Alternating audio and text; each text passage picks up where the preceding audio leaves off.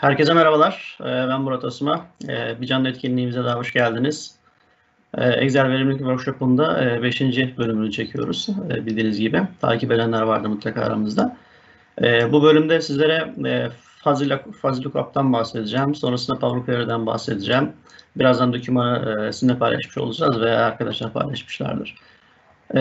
Evet, eğitimimize başlayalım şimdi. Bakalım e, Power Query tarafında neler var, neler yok. Web sitesinden veri çekmeyle alakalı bir örnek yapacağız. Fuzzy Lookup'la alakalı yine bir örnek yapacağız. Hatta birkaç tane sayfamız var onunla alakalı. Fuzzy Lookup diye bir eklentimiz var. O eklentiyle birçok işleri e, kolay bir şekilde yapabiliyoruz. Evet, şu an ekranı görebiliyorsunuz bildiğim kadarıyla. E, şöyle bir örnek yapacağız şimdi. Fuzzy Lookup eklentisinden başlıyoruz. E, bu eklenti ne yapar? Öncelikle ondan bir bahsedelim. Bu eklenti genellikle e, işte iki tane tablo arasında o birbiriyle ortak bir alanlar varsa, ortak noktalar varsa onların karşılaştırmalarını yapıyor. Ortak noktalar varsa dediğimden kasıt aslında çok olması da şart değil. Biz yine ilişkilendirebiliyoruz. Ama e, olursa da tabii çok daha hızlı bir şekilde bu işlemleri yapacaktır.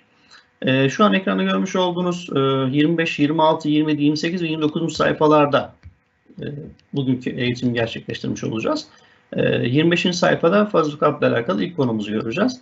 Örneğin iki tane basit bir e, verimiz var, bir listemiz var. Bunları birazdan biz tabloya dönüştüreceğiz. Tabloya dönüştürdükten sonra da e, ikisi arasındaki e, ne kadar ortak noktalar varsa, örneğin Adana ve Afana var. Hani birbirine benzer ama yanlış yazımlardan kaynaklı. Hani eşleştirme yapılamıyor vesaire. E, bu gibi durumlarda ikisi arasında bir ilişki var mı yok mu, birbirine benziyor mu, benzemiyor mu gibi durumları göreceğiz. Genellikle muhasebe tarafında, finans tarafında işte cari hesap karşılaştırması için kullanılabilir. BABS mutabakatları için kullanılabilir gibi ya da işte bağımsız denetçiler tarafından kullanılabilir. Bu eklenti aslında. Yani çok e, mükemmel bir eklenti gibi de düşünebiliriz bunu.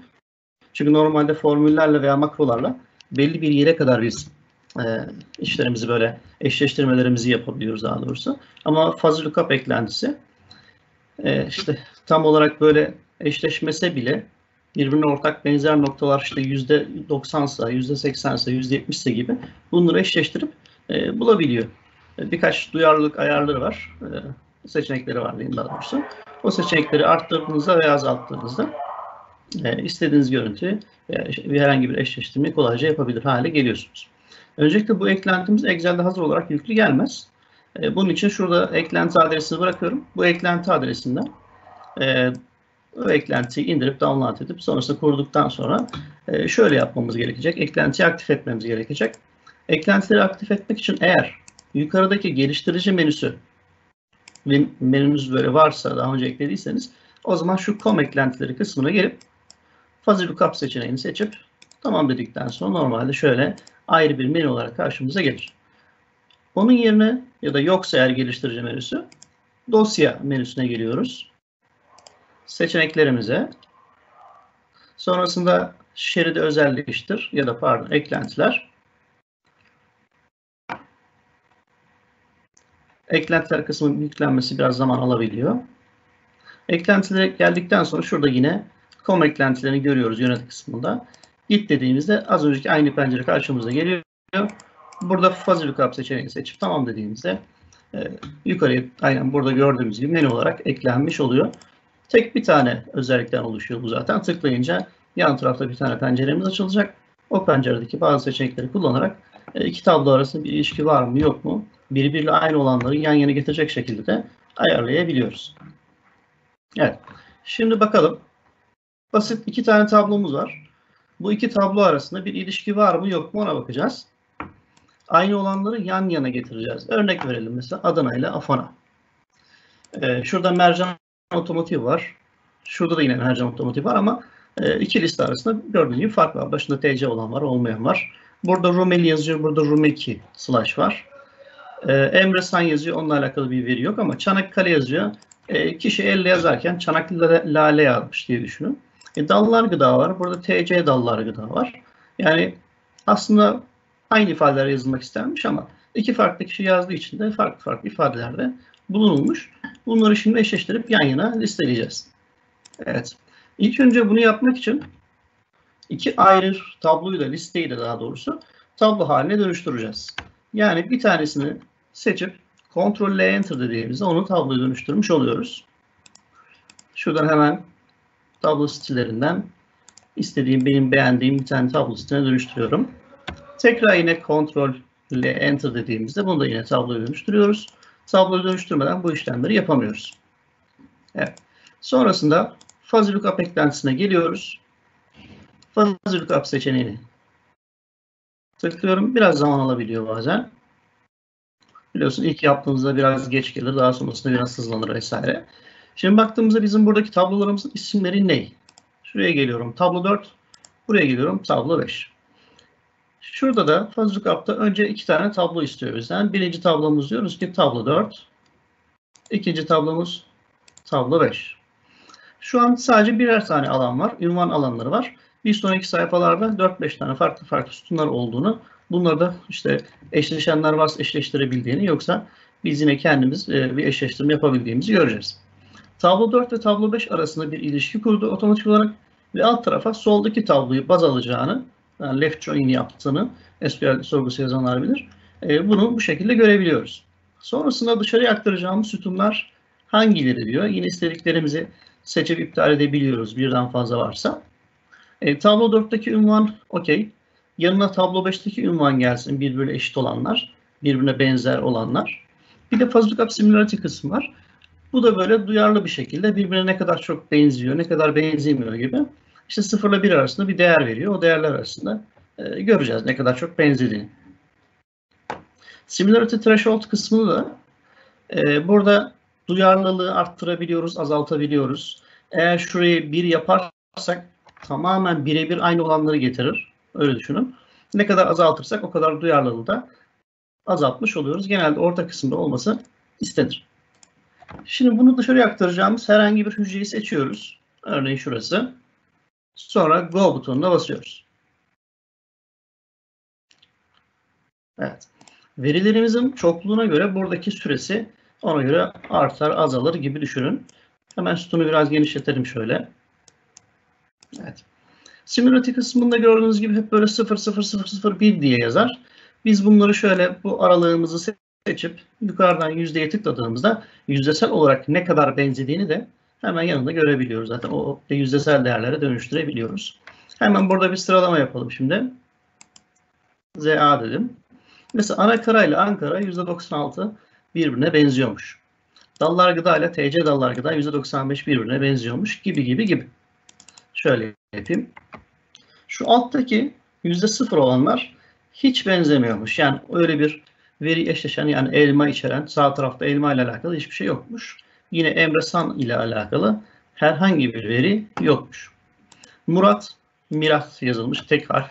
Adana, Afana yazılmış. Parma, Farma yazılmış gibi düşünün. Rumeli vesaire gördüğünüz gibi aynı olanları eşleştirebildiklerini yan yana getiriyor ve bunları da ne kadar eşleştiğini bulabiliyoruz. Bazen %100 eşleşiyor. Bazen bu şekilde tek bir kelime hatasından dolayı %99, 98, 97 neyse bu şekilde bazı değerler alabiliyor. Temelde kullanım bu şekilde. Şimdi bunu birkaç farklı e, örnekte göreceğiz. Şu an tek bir tane tablomuz vardı. Daha doğrusu her bir tablomuzda birer tane alanımız vardı. Şimdi bu alanları birazdan arttıracağız. Evet. Eklenti ile ilgili adresi buraya da bırakıyorum. Eğitim dokümanından alabilirsiniz. Hatta bununla ilgili sayfayı da açayım size şöyle. Adresi yapıştırdığımızda karşımıza böyle bir sayfa çıkacak, gelecek. Fuzzy Lookup Add for Excel diye. E, download butonuna bastığımızda İngilizce olarak e, yüklenmiş olacak, şey, bilgisayarınıza inmiş olacak. Sonrasında kurulum zaten yaparsınız. Details kısmına baktığımızda 1.4 MB'lık bir yer kapladığını görüyoruz vesaire vesaire. Buralara uygun olduğu zaman, müsait olduğu zaman yine de e, bilgisi olanlar bakabilir. Şimdi Excel'e tekrar geri dönelim. Diğer bir sayfaya geçelim. Farklı bir örnekte yapalım bunu. Yine iki tane ayrı tablomuz var. Biraz büyüttüm ekranı. E, iki tane farklı tablomuz var. Bu iki tablomuzda da stok kodu, stok ismi, adet ve birim adında dört tane böyle aynı başlıklarla farklı da olabilirdi. Biz sonradan buradan eşleştirebilirdik fakat e, gördüğünüz gibi bu şekilde aynı alanlarda e, stok kodları birbirine eşit olanları, stok ismi birbirine eşit olanları, adetleri birbirine eşit olanları ve birimleri birbirine eşit olanlarını e, aynı olanları tek bir tabloda görmek isteyeceğiz. bir eşleştirme yapacağız. Yani işte bu bizim depomuzdaki mallar. E, bu da benim işte depocumun ya da işte karşı tarafın bana gönderdiği liste gibi düşünebiliriz. Bu iki listeyi birbiriyle karşılaştırıp aradaki farkları kolay bir şekilde, hızlı bir şekilde bulabiliyoruz. Şimdi şöyle, zaten e, bu arada bunları tabloya dönüştürmüştüm ben. Görüyorsunuz tablo olduğunu zaten. Yukarıda tablo. Aşağı doğru geldiğimizde şöyle sütun başlıkları ya da tablomuzun başlıkları sütun başlıkları halinde görünüyorsa bu da zaten bir tablodur demektir. Aynısı sol tarafta da geçerli. Evet bu iki tablomuzu şimdi eşleşen alanlarını kullanarak e, ne kadar eşleştiklerini göreceğiz. Hangilerinin eşleştiğini göreceğiz. E, bu şekilde hani checklist yapmış oluyoruz bir anlamda. E, şöyle yapalım şimdi. Birazcık küçültelim bu ekranıma. Bu tablomuzun adı neymiş ona bakalım. Tablo tasarımına geliyorum. Tablo 24. Buna bakıyorum. Tablo 25. Evet geliyorum buradan da. Hazır eklentim zaten açıktı. Birinci tablom tablo 24.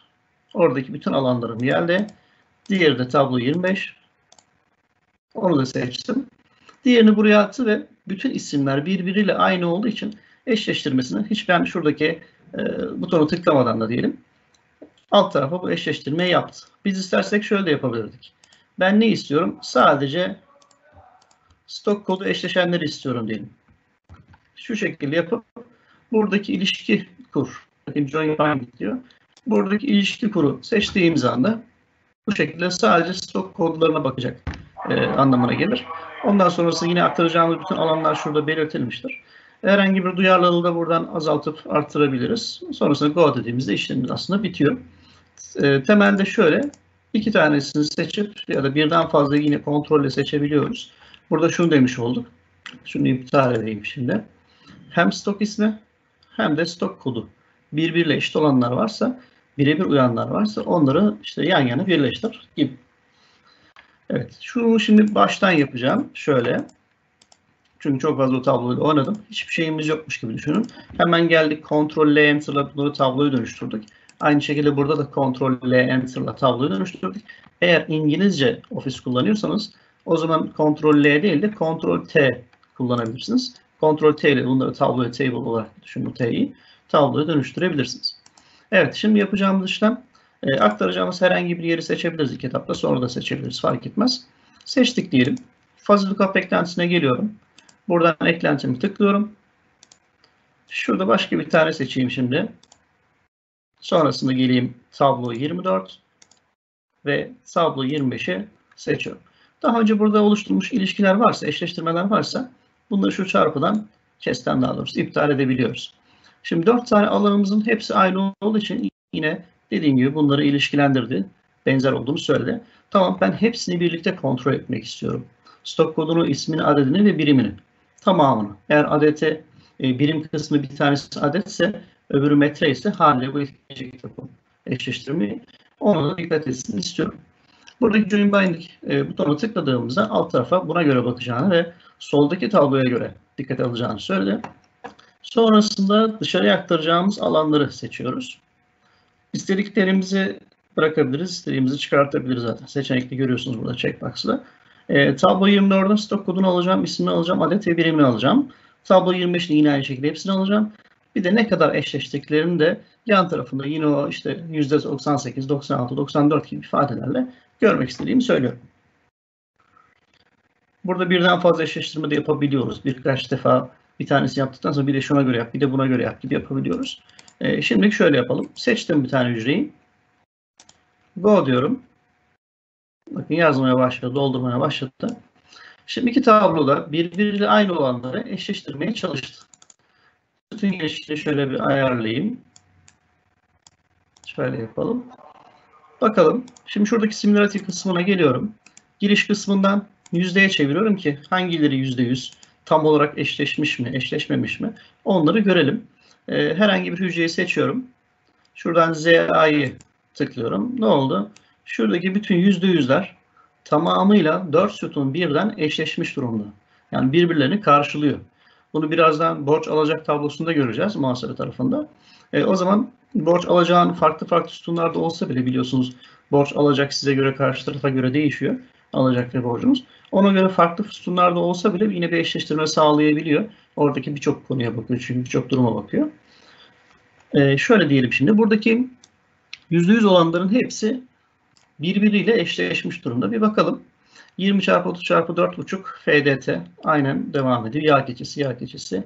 iki taneymiş, birimi de adetmiş. Birebir uyuyor. Diğerlerine de baktığımızda aşağı yukarı şöyle hızlıca bir kontrol edeyim ben de. 20 çarpı 40 çarpı 10. Okey. Yağ keçesi. Tamam. TPH yağ keçesi. iki taneymiş, iki taneymiş gibi. Tamamen %100 bir eşleştirme burada sağlamış olduk. Peki şurası niye tutmadı? %89 oldu. Baktığımızda stok kodları aynı mı? Aynı. E, stok isimleri aynı mı? Aynı. Ama burada adet 3, burada adet 10. Biz demişiz ki bize 3 tane geldi. Karşı taraf demiş ki ben sana 10 tane gönderdim. Bu şekilde check edebiliyoruz. En azından karşılaştırıp e, karma karış yani karışık bile olsa buradaki verilerimiz, sol taraftaki tablolarımızdaki verilerimiz böyle hepsini eşleştirip yan yana getirebiliyoruz hızlı bir şekilde. Bunu normalde e, makro kullananlar bilir. Scripting Dictionary nesnesiyle çok hızlı bir şekilde yapabiliyoruz. Ya da Ado nesnesiyle yine hızlı bir şekilde gerçekleştirebiliyoruz. Aynı görmüş olduğu bu tabloyu e, ya da benzer e, tabloyu diyelim. Ama bunlara hiç gerek kalmadan fuzzy lookup bizim yerimize yani kod bilgisine gerek kalmadan e, fuzzy lookup eklentisini indirirsek, kur, kurarsak çok hızlı bir şekilde bunu sağlamış oluyoruz. Evet, bakalım şimdi 81, 78. Mesela %64'e düşmüş burada. Neden %64'e düşmüş bir bakalım. Baktığımızda burada 20 çarpı 30 çarpı 7. Burada 20 çarpı 30 çarpı 4,5 FDT. FDT uyuyor ama 4,5 ile 7 arasında bir fark olduğu için e, bir eşleştirme burada sağlayamadı bir. İkincisi 20 çarpı 30 çarpı 7 FDT. Yine aynı şekilde burada 4,5 var. Bu da 2 gibi olduğunu düşünün. Şurada bir adet yazıyor, burada iki adet yazıyor ama benzer ifadeler daha çok geçtiği için en azından yarısından daha fazla olduğu için %64 burada bir ilişki söz konusu olduğunu bize söylüyor ve ne kadarlık bir e, ilişki seviyesine sahip olduğunu da yüzdesel olarak hemen yan tarafında gösteriyor. E, diğerine baktığımızda da şöyle yine 7 nak 4,5 nak gibi bir detay var. 7 4,5 detayı var yine burada. E, bir tanesi 10 tane diyor, diğerinde bir adet diyor ve %63'lük bir ilişkisi olduğunu eşleştirme yaptığını söylüyor. Sıfır olanların hiçbirisi eşleşmemiş. Sol tarafta olan bir veri veya sağ tarafta olan bir veri. Aslında bir sol tarafı baz aldık ama sol tarafta olan bir verinin hiçbiri sağ tarafta yokmuş. Bu sıfır olanlar. Evet. Burada bu tarz bir örnek yaptık. Şöyle de yapabilirdik. Biz e, 4 tane alanı eşleştirdik. 4 tane alanı eşleştirmeyelim. Tablolarımızı zaten yüklemiştik. Burada seçtikten sonra hemen fuzzy, eklentisinden e, tablolarımızı seçtiğimiz anda birbiriyle ilişkileri zaten kuruluyor. Kaldırıyorum bunu. Sadece stok kodu aynı olanları istiyorum şimdi. Tamam değil. Basıyorum buradaki ilişkiye. Yine aynı alanları isteyebilirim, istemeyebilirim. Size kalmış. Hatta şurada tamamen birebir aynı olanlar varsa şeklinde yapalım. Burada biri çektiğimizde tam olarak istediklerimiz eşleşiyorsa anlamına gelir. Yine similarity kısmına geliyorum. Burayı yüzde olarak yapıyorum. Hem, hemen sıralamamda yapıyorum. Şunların hepsi stok kodu tarafı daha doğrusu. Şöyle birebir eşleşmiş durumda. Diğerleri eşleşmesini eşleşmese bile e, bu şekilde yan yana getirebiliyoruz. Benim için önemli olan sadece buydu. Diğerlerini zaten biliyorum diyebiliriz. Öyle bir durumda karşılaşabiliriz. E, dolayısıyla böyle sadece bir tane alanı kullanarak da istediğimizi gerçekleştirebiliyoruz. Artık bakın burada yüzde işte 90, 80, 70 falan yok. Çünkü ne dedik? Ben sadece yüzde yüz olan, varsa onları görmek istiyorum. Diğerlerinin alt tarafta diğer alanları da e, output kısmında istediğim için burada onları da alt tarafına hiç eşleşmeyenlere getirmiş oldum. Silelim bu tablomuzu şimdi. E, bir de şöyle yapayım. Stok kodu ve stok ismi. Stok ismi, stok kodu, stok kodu. Evet bu ikişer tane alanı birbiriyle ilişkilendir ve yine sol taraftaki diyebiliriz ya da şöyle sağ taraftaki tabloya göre e, birleştir diyebiliriz. Çok çok önemli değil şu anki yaptığımız yapacağım yaptığımız örnekte. E, seçiyorum sol taraftakini. Left columns'u. Sonrasında istediğim alanlar yine aynı. Eşleştirme %100 olsun. Farklı farklı örnekler yapalım burada. Geldik seçtik burayı. Yine %100 yapıyoruz. Hangilerinin eşleştiğinde şuradan yine aşağı yukarı benzer alanlar yine benzer veriler yine eşleşmiş. Tahminen bir tanesi aradan kaçtı. E, bu şekilde iki tabloyu yan yana çok hızlı bir şekilde birleştirebiliyoruz. Yani binlerce satırınız da olsa hiç fark etmez. Tabii bir süresi olacaktır onun eşleştirmeyle alakalı baktığı birçok detay var çünkü. E, dolayısıyla biraz zaman alabilir fakat sonuçta hiçbir kod bilgisine gerek olmadan sadece alanları ilişkilendirip şunla şu eşitse birbirine ya da şunlar birbirlerine eşitse e, bunları birleştir diyebiliyoruz. Hatta istersen %100 e, dikkate alarak tam olarak birebir eşit mi ya da işte kısmen eşit mi ya da biraz daha eşit mi diyerek buradaki eşitlik durumunda, eşleştirme durumunda kullanabiliyoruz. Örneğin genelde %50'de bırakılır. Kısmen eşit olan var mı şeklinde kullanılır. Burada undo e, ve configure kısmı var. Konfigürasyon kısımları var. Burada çok fazla bir ayar yapmamıza gerek yok. Burada hazır detaylar var. Fakat advanced kısmından e, şu edit XML penceresinden değiştirebileceğimiz yine ayarlarımız var. Burayı çok fazla bilmiyorsak tabii oynamamakta fayda var. E, global ayarlarımız yine var gibi gibi. Şimdi bir diğer örneğime geçeceğim. 27. sayfada e, diyelim ki cari hesap karşılaştırması yapacağız.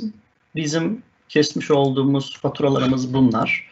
Şu tarihte şu fatura numarasıyla işte şu kadarlık bir fatura kesmişiz diyelim. Müşteri de diyor ki bana diyor e, müşteri bu arada biz fatura numarasını FN yazmışız. FN tire vesaire yazmışız ama müşteri tarafına direkt olarak e, buradaki fatura numarası belirtilmiş. Mesela FN burada hepsinde vardır.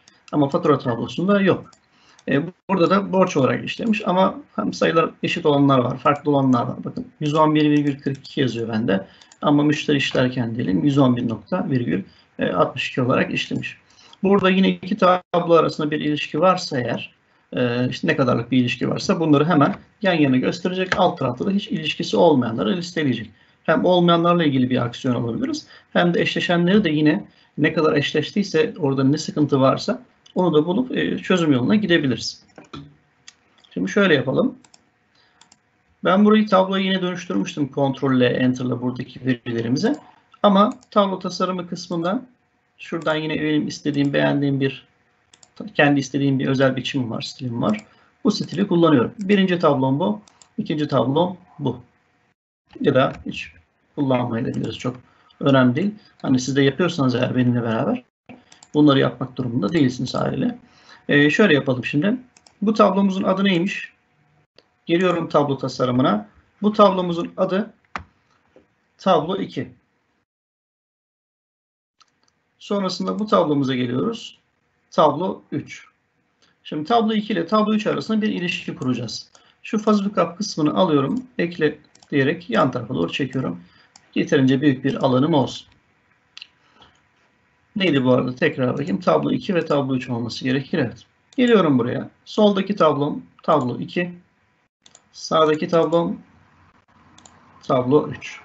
Bu isimleri kendinizce değiştirirseniz e, daha kolay olabilir. Yanlışlıkla başka bir tabloyu seçme ihtimaliniz var, olasılığınız var. Dikkat etmezseniz de farklı farklı verileri ilişkilendirmiş olursunuz.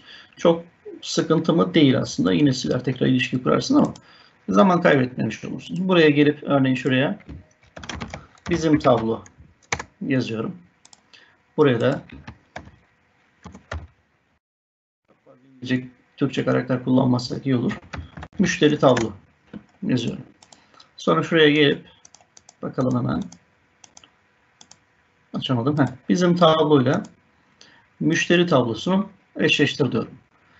Bütün alanlarım şu an aynı. Tarih, fatura, borç, alacak olduğu için herhangi bir sıkıntı yok. Eşleştirdi. Eğer eşleştirmezse bile şöyle biz eşleştirmesini sağlayabiliyoruz. Örneğin alacakla işte şu borcu eşleştir. İşte şununla şunu eşleştir gibi kullanabiliyoruz. Tamam dediğimizde ona göre yapacaktır. Burada. Soldaki tabloda neyi, sağdaki tabloda neyi dikkate alayım diye, neyle neyi eşleştirdiğini aynı sıralamada işte virgüllerle ayrılmış bir şekilde görebiliyoruz. Şimdi şöyle yapalım. Geliyorum burada. Tekrar yeni yapabiliriz fakat seçelim hepsinden. Shift tuşuna veya Ctrl tuşuna basarak yapabiliriz. Şöyle Shift'e basarak şuradan şuraya kadar da diyebiliriz. Ee, seçtik. Sonrasında ilişkiyi kur diyoruz. Zaten baktığımız alacak borç, fatura tarih, alacak borç, fatura tarih olduğunu o alanları o sırasıyla eşleştirdiğini görüyoruz. Yine ne yapacağız? Buradaki çıktı alanımıza geliyoruz. İstediğimiz alanları zaten seçiyor kendisi. Bütün alanlar ulaşabilecek bütün alanları listeliyor. Bir de kendisi şöyle simülatör kısmını ekliyor. E, sonrasında bize ne kalıyor? Sadece buradaki Go butonuna basmak kalıyor ya da şuradaki e, 0.51'i işte 1'e kadar tam olarak birebir eşleşme var mı yok mu gibi e, seçenekler bize kalıyor. Onu da zaten yapacağız. Evet. Şurayı seçiyorum şimdi. Verilerimi buradan itibaren aktarmak istediğimi belirtiyorum. Sonrasında Go diyoruz. Biraz zaman alabilir. Çünkü bir, yaklaşık 400 satırlık bir tablomuz var. Gibi gibi düşünelim bunu.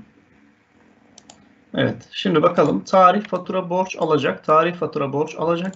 Ve burada da ne kadar eşleştiği, ne kadar benzer olduğu yazıyor. Hemen yine S sütunu simülatör olan kısmı seçip buradan yüzdeyi tıklayabiliyoruz.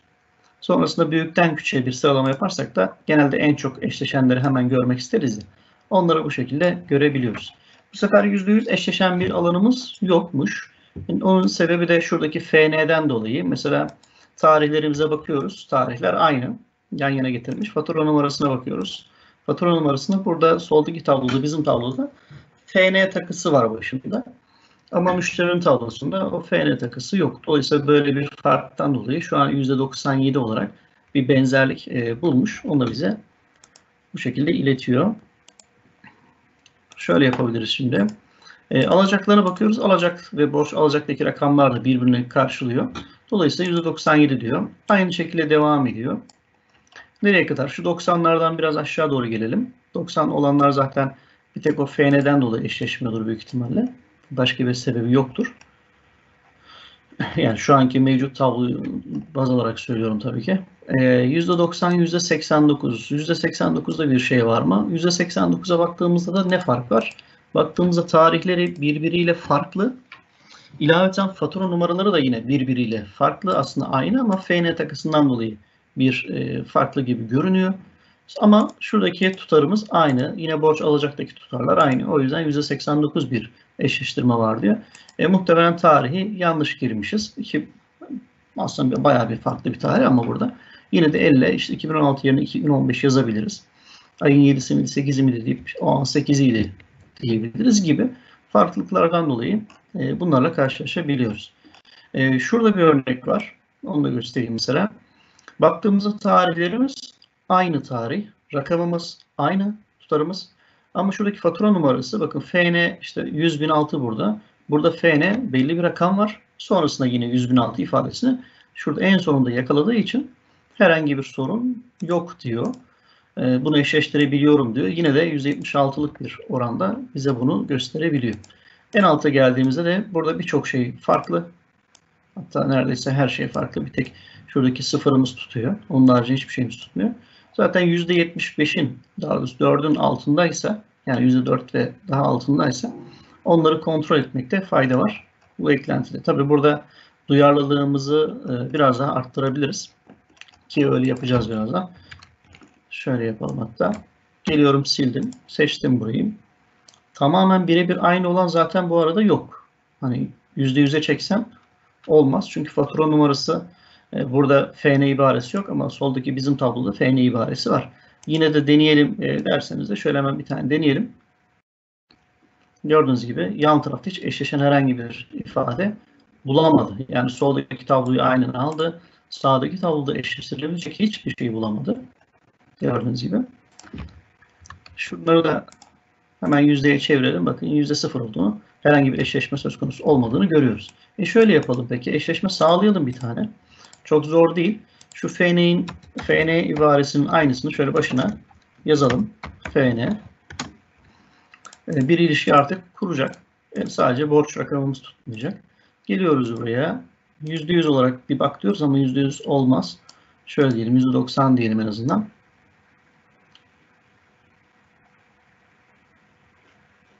Evet belli bir zaman alıyor tabii ki. Sonrasında şunu da atalım sağ tarafa ve tamamen kaldıralım.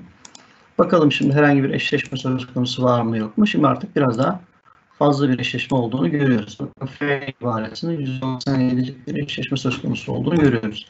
Burada 97 işte genelde dikkat edersen hep böyle 97-96'dan başlıyor. E, tek bir tane kelime olsaydı 98-99 olabilirdi ama iki tane kelime olduğu için buradaki hatta üç karakter olduğu için diyelim. Bu şekilde işte %3'lük bir şey söz konusu burada bir fark söz konusu. E, tamamen %100'e çekelim ya da %99 şöyle 98 yapalım. %98 birbiriyle aynı olanlar var mı? Demiş oluyoruz. 210, 310, 400 küsür tane satırımız varmış. Baktığımızda %98 birbiriyle eşit olan yok mesela. Çünkü eğer %97 demiş olsaydım bir tane veri en azından getirmiş olacaktı. Veya birden fazla yine veri getirebilirdim. Evet, fuzzy lookup eklentimiz temelde böyle. Daha ileri seviyelerde tabii ki var. Birçok farklı örneklerle yapılmış halleri var daha doğrusu. Ee, bunları da işte zaman e, yani sürekli bu şekilde eğitimlerimize her hafta devam ediyoruz bildiğiniz gibi.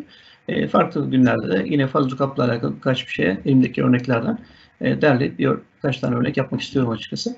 E, ilaveten geçen eğitimde bahsettiğim dashboardla alakalı güzel, yani güzel bir dashboard ekranı yapmıştık. Sadece mouse'la e, herhangi bir hücreyi seçmeden üzerine gelerek e, bazı işte grafikleri hareketlendirebildik. E, daha bir e, dashboard havası vermek adına orada sadece grafiklerimizi hareketlendirdik. Örneğin bazı kartlar oluşturacağız. Bir sonraki eğitimde bunu yaparız. E, bazı kartlar oluşturacağız yukarıda. İşte toplam e, maaşlarımızın toplamı ne kadarmış, kaç gün izin kullanmışız, nedir ne değildir gibi insan kaynakları tarafında olabilir, HR tarafında olabilir.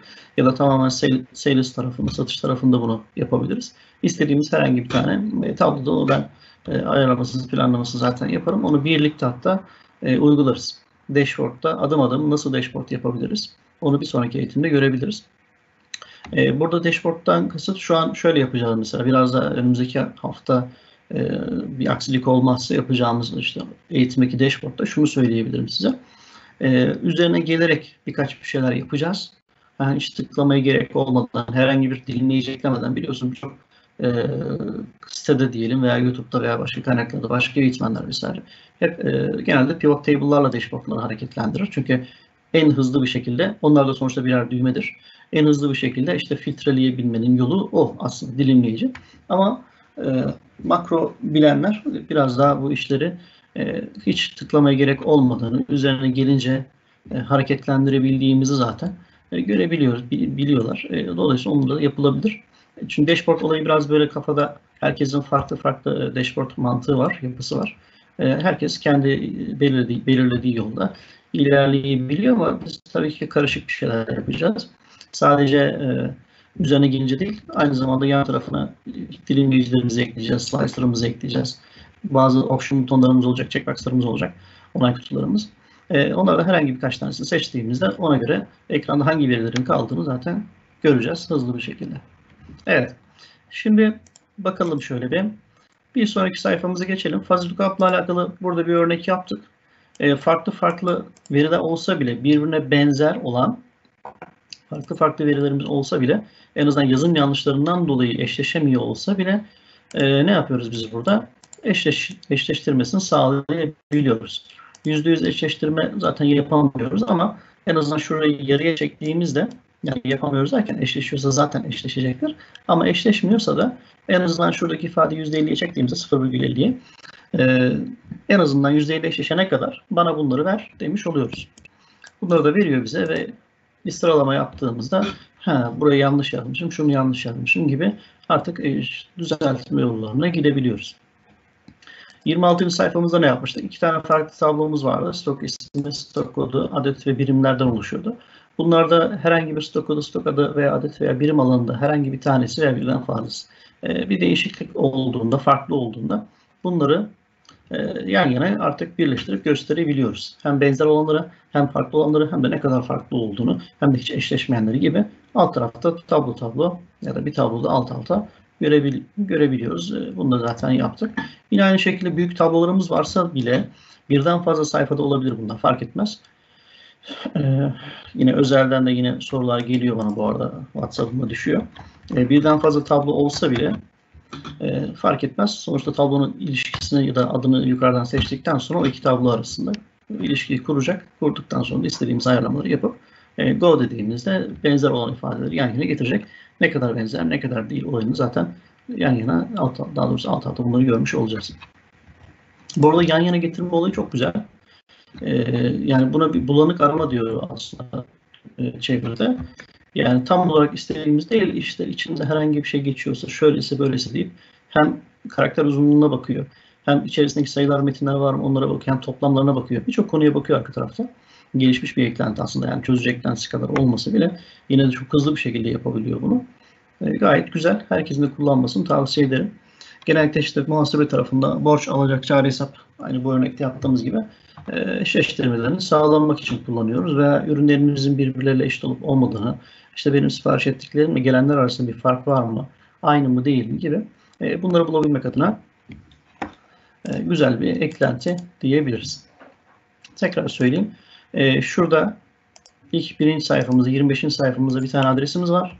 Eklenti adresi. Bu adrese girip şu sayfaya yani bu sayfaya geldikten sonra download demek yeterli olacak. İndirdikten sonra da işte kurulumunu yapacağız. Hemen yukarıya şöyle fuzz lookup kısmımıza eklenmiş olacak. Eklentilerden seçtiğimizi veya geliştirici kısmından com eklentilere gelip buradaki fuzz lookup'ı seçtiğimiz zaman. Ee, bakalım bir sonraki sayfamıza geçelim. Bir sonraki konumuz da e, Power Query ile TCMB sitesinden Türkiye Cumhuriyeti Merkez Bankası'ndaki günlük kurları nasıl alabiliriz onu göreceğiz. Onunla ilgili bir örnek yapacağız. E, bu bugünkü son örneğimiz olacak bu arada. Ondan sonra bir sorunuz varsa da sorularınızı alıp e, eğitimi bugünlük tamamlayacağız. E, eğitim sonunda şu anda da söyleyeceğim. Sonra da yine eğitim biterken de bunu hatırlatırım. Eğitim sonunda bir eğitim değerlendirme formumuz var. Bunu chat kısmından görebiliyorsunuz. E, adresi basit pickup slash değerlendirme diye oraya girip eğitimle alakalı anlattığımız konularla alakalı işte olumlu olumsuz ne kadar görüşünüz varsa onları bizimle paylaşabilirsiniz. E, şimdi evet konumuza başlayalım. Tavuk Query bildiğiniz gibi çok gelişmiş bir eklenti. E, Excel içerisindeki yapılan e, biraz da böyle Big Data'ya doğru yolculuğa çıkartan bizi bir eklenti. Yani Power Query var, Power Pivot var, sonra Power BI var gibi düşünün. E, o bütün ilişkiler arasında hepsinde, hepsinde kullanılabilen bir ara e, sorgu penceresi diyelim buna. E, sorgumuz var, e, bir sorgu penceremiz var. O pencerede çok gelişmiş sorgular yapabiliyoruz ya da çok gelişmiş işlemler yapıp onların arka tarafta kendi yazılım diliyle e, dönüştürüp hemen hızlı bir şekilde tablo olarak bize tekrar dökebiliyor veya işte Power BI üzerinden de yine bu Power Query sorgusuna erişebiliyoruz vesaire vesaire.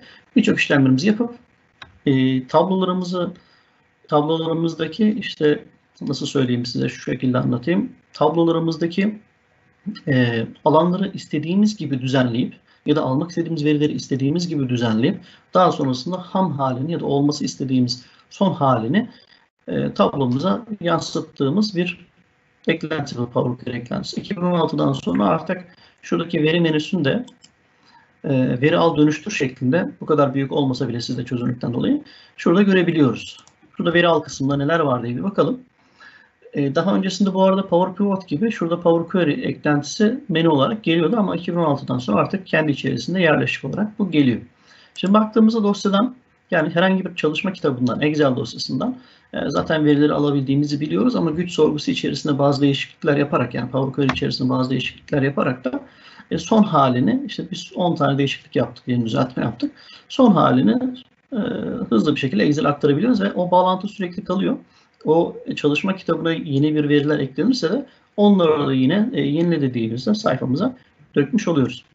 E, Metin ve CSV'den yine verilerimizi alabiliyoruz. Bildiğiniz gibi XML'den alabiliyoruz. JSON'dan veya klasörden yani klasörün içerisinde örneğin 10 tane Excel dosyası var.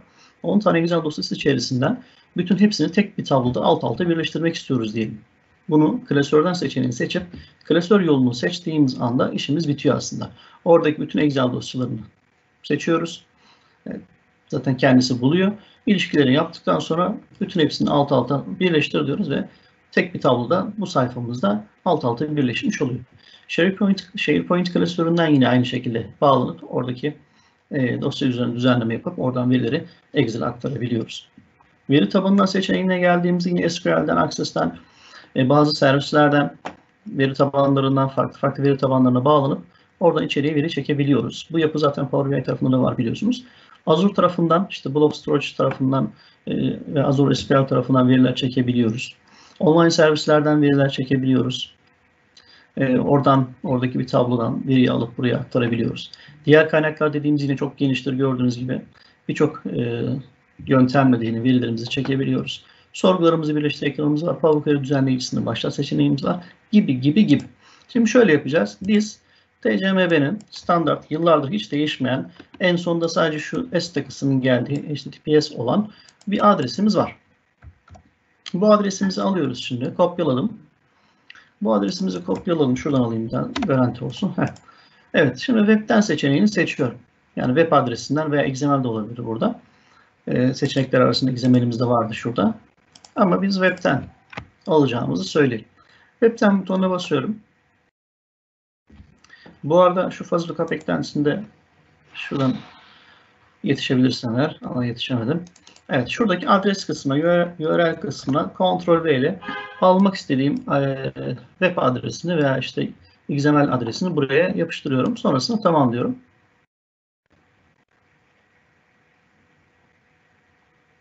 Evet. Bir tane tablo buldum orada diyor. İşte başlangıç tarihi bu olarak vesaire belirtilmiş orada. Burada yükle dersem şurayı olduğu gibi şöyle A1'e atacaktır. Yüklenin altında şuraya yükle var. Yine istediğimiz herhangi bir yere aktarabiliyoruz. Ama bizim amacımız şurayı almak değil. Yani biz biliyoruz oradaki yapıyı zaten ya. Şöyle göstereyim size. TC, MB, kurlar vesaire dediğimizde bizim almak istediğimiz tablo burası ya. Aslında buranın tamamını da almayacağım. Bizim ihtiyacımız olan diyelim ki sadece dolar veya euro kuru. Bize sadece ikisi lazım. İşte döviz alışı satışı, efektif alış satışı vesairesi lazım diye. Ee, bizim adresimiz bu. Bu tablodaki şuradaki ABD dolar ve euro kısmını alacağız. Şöyle. Dolayısıyla bunu bu şekilde hemen yükle diyerek bırakamayız.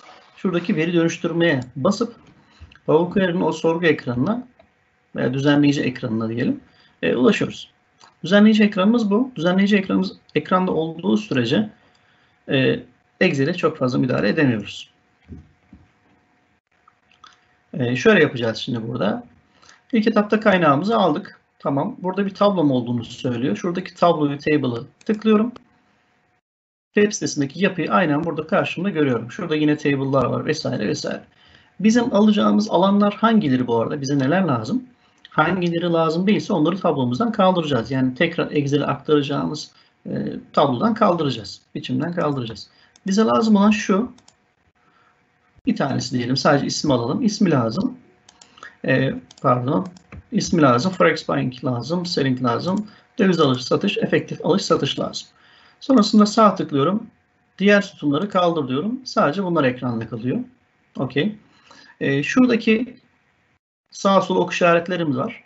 Her bir table yazanda. Mesela şu an Forex Bank kısmında e, düzgün bir şekilde veriyi aktarmış. Sadece buradaki veriler aslında 10 bine bölünecek birazdan ama en azından tabloda buradaki sayıları görebiliyoruz. Fakat burada table'ı görüyoruz. Bir tanesi tıkladığımda onun içindeki değerini alabiliyoruz, görebiliyoruz. Fakat bunu kaldırdım. Yapacağımız işlem şu olacak. Şuradaki e, sağ sol ok işaretlerini tıklıyoruz. Herhangi bir şey olabilir, olmaz çok önemli değil ama seçmeyelim. Daha sonra çünkü değişiklik yapacağız. Döviz alış, döviz satış diye Türkçeleştireceğiz bunu. Tamam diyorum. Giriyorum buraya. Bakın sayılarımız geldi. Aynısını buna da yapıyorum. Tamam diyorum. Buna da yapıyorum. Tamam diyorum. Buradaki bazıların null geldi. Çünkü burada ona ait verilerimiz yok. Evet, şimdi yaptık. Okey. Ne yapacağız şimdi? Şuradaki 3 tane alanımızdaki verileri bir kere şuradan dönüştür kısmından değerleri değiştirden diyeceğiz ki daha kolay olabiliyor böyle. Normalde 10 bine bölebiliriz vesaire ama buradaki noktayı virgül yap diyeceğiz ki bizim okunabilir haline dönüştüreceğiz. Excel'den e, makrolarla veri çektiğimizde de bilenler bilir. Öncelikle biz bu nokta ile virgülü yer değiştiriyoruz. Veri alıyoruz. Daha sonra yine eski haline çeviriyoruz gibi bir durum var. Burada da yine benzerini yapıyoruz. Evet. Sonrasında buradaki türlerimizi şu an metin olarak saklanıyor. Bir tanesini seçip ondalık seçim iptal oldu bu arada. Diğerini seçelim. Ondalık sayı biçimini alalım. Buradan da ondalık sayı biçimlerini alıyoruz. Hepsi şu an istediğimiz yapıya döndü. Sadece şurası dönmedi. Buradaki yapıda şu an e, 10 binle çarpılmış hale gibi düşünün bunu. Bunu ne yapacağız? Hemen dönüştür kısmından standarttan böl diyeceğiz ve 10.000 sayısına böleceğiz. Böldükten sonra yine benzer sayıları zaten görebiliyoruz.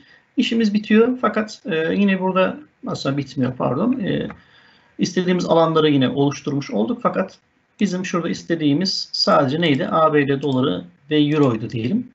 Ben sonuç olarak bu tabloyu aktarmak istiyorum diyeceğiz. Hatta başlıklarımızı değiştirelim. Döviz alış, döviz, döviz satış, sonrasında efektif alış, efektif satış olacak. Başka yapacağım bir şey var mı diye bakıyorum. Bakın şu kadar aşamadan geçmişiz. Buraya gelene kadar. E, bu aşamaları işte tekrar geri almak istediğimizde geriye doğru böyle siliyoruz veya işte her şeyi geri almak istediğimizde şuradaki kaynağı currency kısmını tıkladığımızda diğer alttakilerle etkilenecek, silinecektir. Evet şimdi işimiz bitti. Baktığımda ABD doları, euro hatta şunu da yapalım. Bunu ABD doları değil de sadece dolar olarak düzeltelim bunu. Bunu nasıl yapacağız? Bunda hemen alanın ismini değiştirerek yapacağız. Değerleri değiştir diyeceğiz. Ben ABD dolarını seçtiğim için burada ABD doları otomatik geldi. Buna dolar diyeceğim. Sonrasında tamam diyorum. Gördüğünüz gibi dolar olarak değiştirilen değer hemen hızlı bir şekilde geldi buraya. Table replace value ifadesiyle ABD dolarının dolar yaptığımız diyor. isim alanındaki vesaire. Evet işimiz bitti. Tablomuzu aldık. Şimdi kapat ve yükle diyebiliriz. Şuradaki fazla recap eklentisi eğer yine gelirse şunu kapatacağım. Evet. Evet gördüğünüz gibi isim, döviz alış, döviz satış, efektif alış, efektif satış gibi verilerimiz kolay bir şekilde, hızlı bir şekilde alınmış oldu. Herhangi bir kod bilmemize gerek yok. Tabii sonuçta Power Query gibi bir eklentiden faydalanıyoruz. Çok gelişmiş bir eklenti. O yüzden hani onu da küçümsememek lazım. Hani kod bilmek burada çok çok daha önemli gibi düşünebiliriz ama ee, yine de bu eklentiyi de böyle yaban atmamak gerekiyor. Çünkü milyonlarca hatta milyarlarca satırda işlemleri yapabiliyor. Bir zaman alsa bile Excel'de bunu yapmanız pek fazla mümkün değil. Çünkü Excel içerisinde 1 milyon 48 bin 576 tane satırımız var. E ben 10 milyonluk bir tablodan veri aktarmak istediğim Excel'e ne yapacağım? Aktaramayacağım haliyle. Ya gruplama yapmam gerekecek ya da artık Power Query tarafında işlem yaptıktan sonra aktarmam gerekecek. E, zaten o kadar satırımız varsa Excel'i pek fazla tercih etmememiz gerekir. Artık Power BI tarafına biraz yönlenmemiz lazım. Hem görsel tarafı daha güçlü. E, dashboardlar oluşturabiliriz, işte raporlar yapabiliriz gibi düşünün. E, gibi gibi. Gördüğünüz gibi kolay bir şekilde e, isim, döviz alış, döviz satış, efektif alış, efektif satışı e, alabildik. Artık diyelim ki yarın açtık e, bu dosyamızı. Yarınki şey alacağız, döviz kurlarını alacağız. Sağ tıklık yenile dediğimizde birkaç saniye içerisinde o anki gidecek yukarıya bağlanacak o anki verilerimizi hızlı bir şekilde çekmiş olacağız. Evet. Burada daha önceki oluşturmuş olduğumuz sorgularımız yer alıyor. Buradan istersek sağ tıklayıp düzenle diyebiliriz veya sil diyebiliriz gibi gibi birleştir diyebiliriz. Başka bir sorgumuz vardır. Yan tarafına da ve alt tarafına da başka yine alanları alıp onlarla birleştirebiliriz. Ee, şimdi şu Birinciyi sileceğim. Yer kaplaması. Evet. 28. sayfamızda yine bu Power Query ile TCM'den veri alma ile alakalı örneğimizi gördük. Dediğim gibi bugün normalde size aktaracağım bu e, fuzzy lookup beklentisi ile alakalı neler yapabiliyoruz o vardı. Onunla ilgili birkaç tane örnek yapacaktık. E, onları görmüş olduk. Sonrasında yine TCMB'den Power Query ile nasıl veri çekebiliriz? istediğimiz döviz kurlarını nasıl alabiliriz? E, olayını da burada canlı bir şekilde görmüş olduk. Evet. Sorusu olan var mı bu arada? Herhangi bir sorusu olan varsa da bu konuyla alakalı olabilir, başka bir konuyla alakalı olabilir. Excel konusunda herhangi bir sorusu olan varsa e, yardımcı olmak isterim. Ee, Kübra Hocam bu konuda bir sorumuz var mı acaba? Şu anki konularla alakalı. Şimdilik yok hocam. Teşekkür ederim. Yok mu? Tamam. Peki. Şöyle ben de biraz sesinizi açayım. Biraz ses kısık geldi bana. Evet. Fazuka beklentisini tekrar söyleyeyim. Mutlaka dursun burada. Bir karşılaştırma yapabiliriz. Her zaman gözümüzün önünde dursun. Ne kadar çok böyle kullanabileceğimiz eklenti varsa onları yukarıda ekleyebiliriz. Bu Excel'in biraz açılış hızını yavaşlatacaktır. Fakat e, ihtiyaç oluyor. E, hani sürekli ihtiyacımız olabiliyor. Dolayısıyla yukarıda gözümüzün önünde olmasına fayda var. Ya da dersiniz ki ben geliştirici sekmesini kullanıyorum. Bu burada sürekli var. Com eklentilerine gelip istediğim zaman da bunları ekleyip kaldırabilirim. Geliyorum tekrar geliştiriciye. Com eklentilerine geliyorum. Buradan faz lookup'ı seçip tamam deyince bu eklentimize bu şekilde geliyor. Birden fazla tabloda nasıl eşleştirebiliriz? Onu da görüyoruz, gördük. Ee, en fazla iki tane tabloda bunu ilişkilendirebiliyoruz. Öyle 3, 4, 5, 6 diye farklı farklı tablolarda yapamıyoruz. Ee, yine dediğim gibi ilerleyen eğitimlerde şunu da yapacağım. Aynı düşey gibi de kullanabiliyoruz. Örneğin ben sadece bir alana şunları yazacağım. Şu fatura numaralarını yazacağım. Bana şu tablodan ya da istediğim hangi tablo istersem o tablodaki diğer verileri yan tarafına getirecek. Hatta bir önceki eğitimlerde benzer olmasa bile şöyle bir örnek yapmıştık ya. Ee, ne yaptık? İşte satış bölgelerimiz var. Bunları benzer hale getirmiştik. Her satış bölgesindeki işte kullanmış olduğumuz veya satmış olduğumuz ürün adlarını aralarda virgül koyarak yan yana birleştirmiştik mesela. Bunu hem formülle yapmıştık. Eğer takip etmeyenler varsa şu an yayınımıza katılan, e, geçenki eğitim takip etmeyenler varsa onlar için böyle bir örnek yapmıştık diyebiliriz. Bunu hem formülle yapmıştık hem de e, Power Query yine sorgusuyla gerçekleştirmiş idik. Çok kısa bir şey daha göstermek istiyorum burada. E, Murat Ee, Hocam, fark- kısa bir şey danışabilir miyim? Tabii. Bir soru geldi. Pozitif beklentisini nasıl ekleyebiliriz şeklinde. Çok kısa bahsedebilir misin tekrardan? Fuzzy lookup eklentisi değil mi? Yanlış duymadım. Evet. Bu konuştuğumuz. Evet. Tamam. Şöyle yapacağız. Tekrar iptal ediyorum ben her şeyi. E, bu dosyayı eğer indirdiyse soru soran arkadaş e, şurada eklenti adresinin altında bir tane URL var. Bir adres var. Bu adresimizi kopyalayalım. Yani bu arada Google'a şunu da yazabilirsiniz tabii ki. İşte fuzzy add veya fuzzy diye yazsanız zaten çıkacaktır karşımıza. Fakat şöyle o adrese adres çubuğuna yapıştıralım.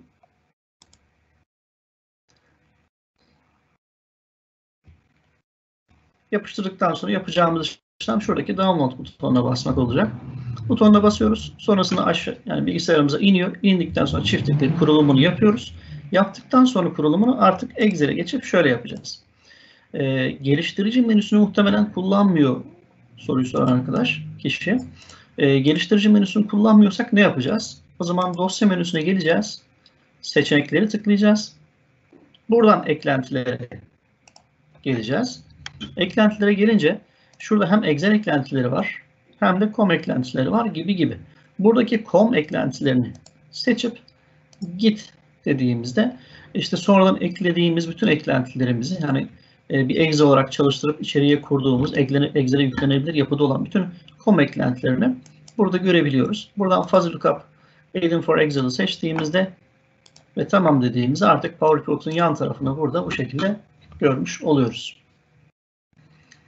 Evet, adresimize giriyoruz, indiriyoruz, kurulumunu yapıyoruz. Eklentilerden com eklentilere gelip fuzzy lookup'ı seçip tamamlıyoruz. Bu şekilde bir yapıyla bu eklentiyi aktif edebiliriz. Burada gördüğünüz gibi karmaşık bir tablomuz vardı. İki tane ayrı tablomuz vardı.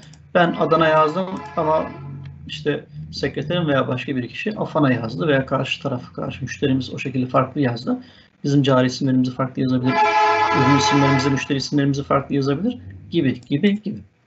Bunları eşleşen verilerimizi böyle yan yana birleştirebiliyoruz. Diyelim. Evet. Bugünlük sizlere aktaracaklarım bu kadardı.